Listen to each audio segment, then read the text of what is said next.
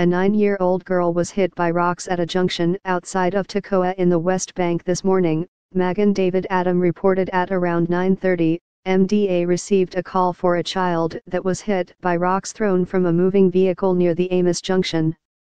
MDA personnel transferred her to Hadassah Ein Kerem Hospital with light injuries.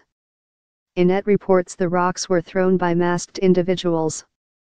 Share on Facebook Share on Twitter